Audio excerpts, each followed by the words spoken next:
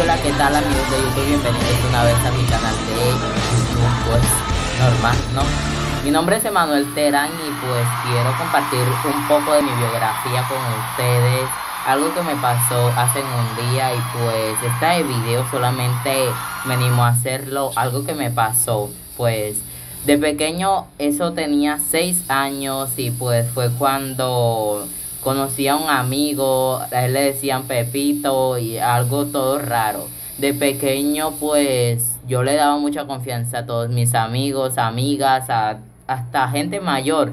Aún yo le digo a, mis a mi hermano menor, hey, no le des tanta confianza a ese señor, puede pasarte algo mira esto, ten en cuenta que ese señor te puede darte algo que puede estar dañado y, te, y cualquiera te va a llamarte a hacerte daño. Yo eh, me traumé después de eso que a mí me pasó de pequeño y pues me encanta proteger mucho a mis hermanos, a Marjorie y Wilfrido y Wilfran dijo y pues soy muy alegre me encanta proteger y me preocupo por las personas y más si son familiares míos porque no me gustaría sufrir algo feo como llorar por una persona y caer en depresión pues.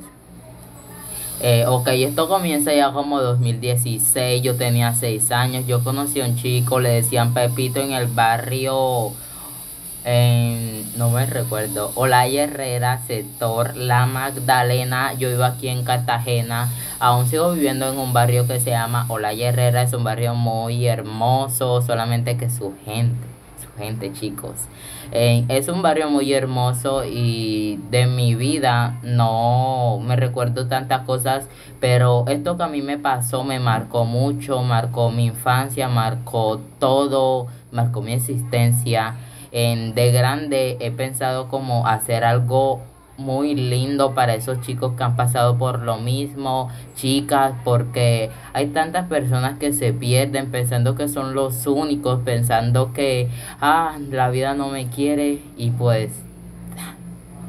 Entonces yo los quiero venir a animar un poco.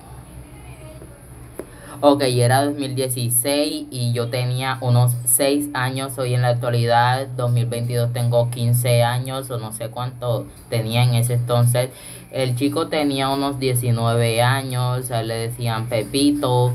Yo me llevaba muy bien con él, yo me llevaba con todos mis amigos. Yo era como que el chico de la calle. Y pues mi familia es muy conocida en este barrio, La Herrera pues soy una persona muy alegre, una persona generosa, solamente que he cambiado al pasar de los años. Eh, me han criticado por el contenido que hago subiendo música, han tratado de arruinarme, eh, pues en las madrugadas eh, no puedo dormir porque pienso mucho en lo que puede pasar en el futuro, lo que puede pasar el siguiente día, de que me digan algo que me hiera tanto porque Muchas personas han tratado de arruinarme, han tratado de arruinar el propósito que Dios ha puesto en mí porque yo sé que Dios tiene un gran propósito en mí y pues yo sé que eso se cumplirá porque soy una persona muy trabajadora aunque no lo demuestre y una persona muy capaz de asumir responsabilidades. Soy una persona alegre, confiable, en la que puedes contar para lo que sea. He tenido muchos amigos que me han contado sus problemas y lo que les pasa, pero hoy yo te quiero contarte a ti, que estás viendo este video, todo lo que me pasó a mi edad de 6 años. Ok, volvimos al 2016 en el chico, estábamos jugando normal, era una noche muy divertida para mí. Estábamos jugando todos entre amigos, era un grupo como de 30 chicos. Yo era el más pequeño ahí porque ya todos estaban mayores. No mentira, el más pequeño era mi hermano. Eh, y luego mm, el chico se me acerca a mí y me dice, hey, podemos jugar en mi casa un rato. Tenía 19 años. Yo le, yo me quedé como callado porque soy una persona que cuando le preguntan algo se queda como callada. Eh, y pues mm, reflexioné, no mentira, yo no reflexioné porque era un chico. Y luego le dije, ah, claro, ok, porque me estaba invitando a jugar y Él me decía, vamos, vamos, yo te muestro mis bicicletas y vamos a mi cuarto.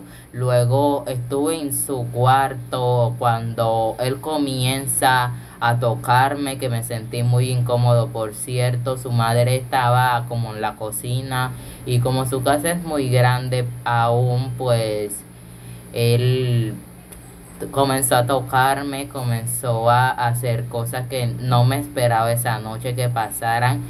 Yo he escuchado que mis amigos jugaban, yo le decía, hey, podemos salir. Luego él me dijo, no, vamos a seguir aquí. Él me eh, tocó, yo traté de levantarme y él me empujó. Eh, luego él me comenzó a desnudarse y después yo comencé a asustarme, él comenzó después a decirme que me desnudara, comenzó a tocarme mis partes íntimas y luego a decir muchas cosas. Él pues quitó esa confianza que yo tuve por muchos años a todas las personas. Eh, me sentía en ese momento incómodo, me sentía sucio, me sentía una persona rara porque no sabía en ese momento lo que estaba pasando. Y pues él después de eso salió y en ese momento cuando salimos estaba lloviendo, llegó a mi casa mojado y llorando y mi mamá me pregunta qué te pasa y yo le dije nada, solamente que estoy llorando y según yo, como estaba lloviendo, tenía el rostro mojado. Luego el chico fue a su casa, fue a su casa y mi mamá me preguntaba, luego me pegó mucho, mi mamá me pegó porque no le quería responder qué me había pasado, entonces él no sé qué estaba haciendo en su casa, luego mi mamá me pegó aún más duro. Luego, pues, ahí fue cuando le conté a mi mamá la verdad porque ya me sentía lo suficiente maltratado, lo suficiente sucio, lo suficiente mentiroso y pues le dije, mamá, un chico amigo mío abusó de mí, tiene 19 años y no sabía qué había hecho en ese momento me sentí tan sucio, me sentí tan triste y pues no voy a seguir contando eso, solamente quiero que te enfoques en esto que pasó. Soy una persona muy alegre, cuídate, soy una persona muy feliz, soy una persona muy confiable, pero lo que te quiero enseñar es que seas una persona que no le dé confianza a todo el mundo. Míralas bien, pero Mira más allá de su rostro, mira más allá, mira su corazón, mira las intenciones que tienen contigo, mira cómo quieren hacer lo que quieren hacer contigo y cómo quieren hacerte daño y ahí tú verás si esa amistad te funcionará o no te funcionará. De muy pequeño era alegre, yo era muy escubridizo, preguntaba mucho, pero en ese momento no se me ocurrió preguntar más nada, sino quedarme callado, incómodo, como una basura porque así me sentía y hoy en día me siento peor. Hoy lloro en la madrugada, aún me deprimo, me siento mal y veo su, esos chicos contando sus historias y chicas en muchos videos y pues esto fue lo que me animó a contar eh, la verdad sobre mi vida. Esta es la verdad más grande que tengo en mi vida. No hay verdad más dolorosa que esta que pasé en 2016 sobre un abuso sexual. El chico hoy en día y pues tiene una familia hermosa, la cual sí hablo con ellos, menos con él, porque se siente incómodo retomar conversación. Y pues solamente te quiero decirte que toma este consejo y pues ámate, ama a todos los que te dan consejos.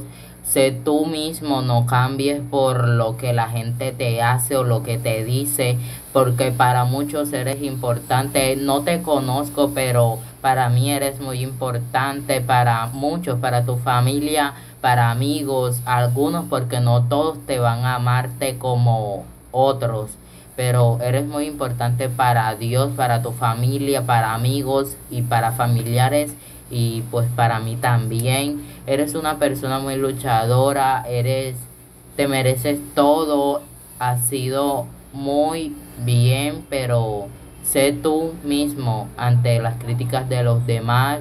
Aunque te critiquen, mire, se pintó el pelo, se rapó la ceja y eso no le agrada a Dios. Mentira, Dios, tú eres del agrado de Dios, aunque te digan lo contrario. Lo que a Dios no le agrada es tu pecado. Y mientras estés eh, arrepentido de corazón de ese pecado, tú siempre vas a ser amado por Dios y Dios nunca se va a alejar de ti porque si tienes un propósito y si viniste a esta vida es porque Dios te ama y tiene grandes cosas contigo. Y si quieres puedes preguntarle a cualquiera te va a decirte no, mentira, lo que dice ese chico es solamente para ganar yo que sé, pero esta es mi parte esto es lo que yo digo, esto es lo que pienso, esto es lo que me ha pasado y quiero decirte, eres importante para mí, para Dios y para muchos, porque si viniste a este mundo, eres importante para Dios. Gracias por ver este video, suscríbete a mi canal y dale like y reacciona a, esto, a los comentarios si quieres más videos como estos. Muchas gracias por ver este video, me he sentido muy bien pues diciendo la verdad de mi vida. Gracias chicos.